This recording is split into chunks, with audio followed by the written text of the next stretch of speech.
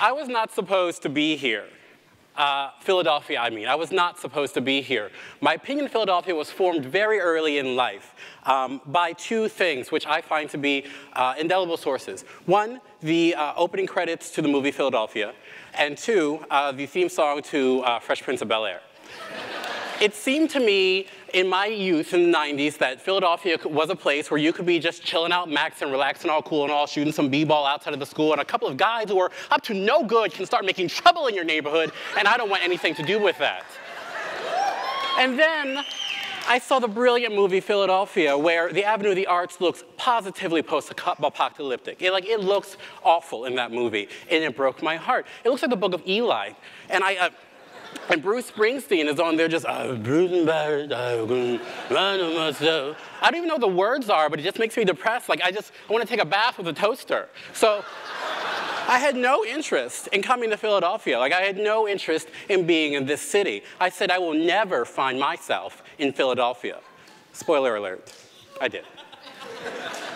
Cut to 2005, I had left college. My parents had sacrificed a lot for me to go to a really nice school where I could study to be a performer and to be a writer. And I returned to Baltimore to work at the Hard Rock Cafe and sing the YMCA every day. Um, which I, you know, was a really great use of, of all my training. I was, I was artistically and, and intel intellectually uh, uh, I wouldn't even say discouraged is a strong enough word. I was basically bankrupt. I don't know where I went wrong. I didn't know what I was doing wrong. I couldn't find an artistic community to plug into. I couldn't find anything with, inside of myself. I didn't know if there was anything left inside of myself. I didn't know really if I was actually any good at anything I wanted to do. So I sold hamburgers, and I did that pretty well.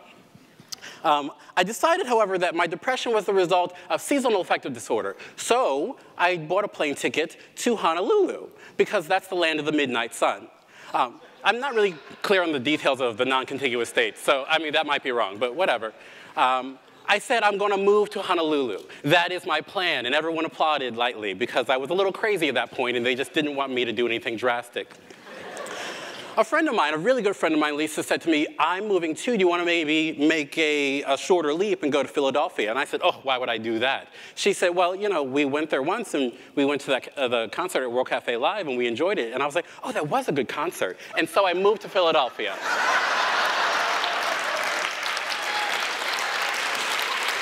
this isn't one of those talks about how to live your best life. Just so you know, if you're taking notes, you may want to, uh, whatever.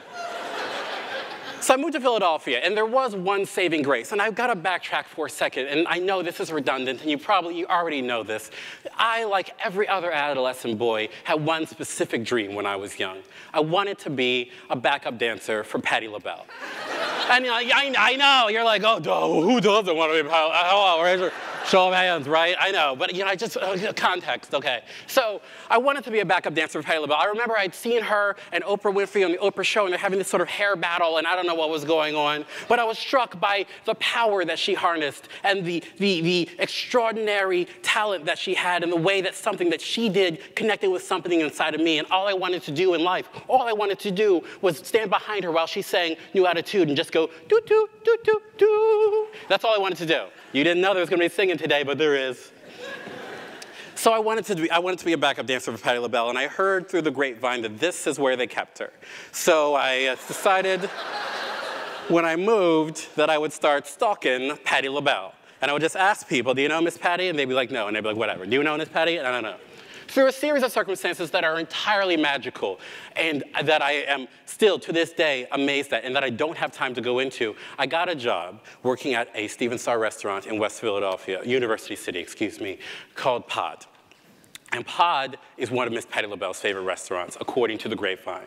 And so I started working there, and I waited by the door every day, just, Miss Patti, Miss Patti, Miss Patti, never. There's one phone in my house that has rung only once. It's the Patti phone. It's got a wig, it's got no shoes on, it rolls across the floor when it rings.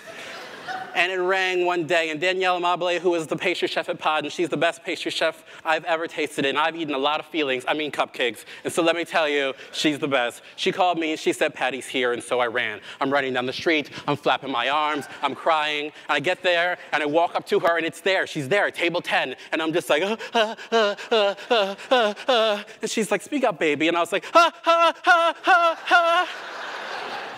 And she took my hand in her beautiful hand and she hugged me, and the whole restaurant turned purple. And she lifted me up and we flew and she sang Somewhere Over the Rainbow. Some of this may not actually be true, I don't remember. Something woke up in me when I met Miss Patti LaBelle. It was a simple celebrity meeting. I took a picture, I put it on MySpace at the time. This is retro.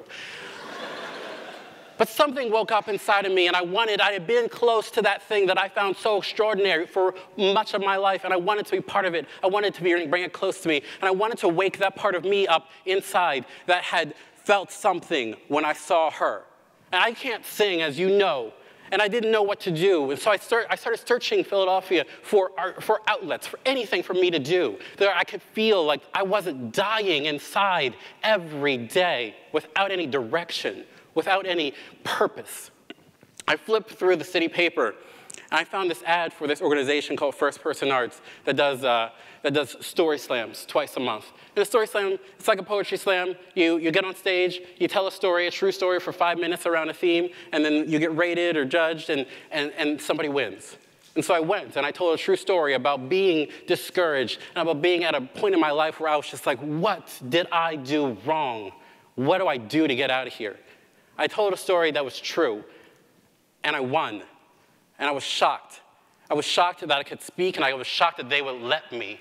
This, this is before I knew that the truth is extraordinary and that every person has it in them. This is before I knew that, that, that telling the truth opens up a door not only in myself, but a passageway from me to every other person.